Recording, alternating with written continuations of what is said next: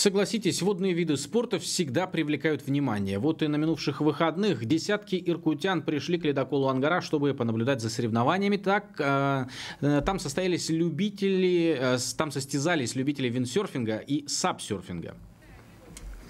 Эти виды спорта в последние несколько лет набирают все большую популярность в нашем регионе, причем как среди детей, так и среди взрослых. Особенность сапсерфинга в том, что человек, стоя на доске, катается на волнах, при этом он гребет веслом. А у виндсерфинга своя изюминка. Спортсмен демонстрирует мастерство управления легкой доской с установленным на ней парусом.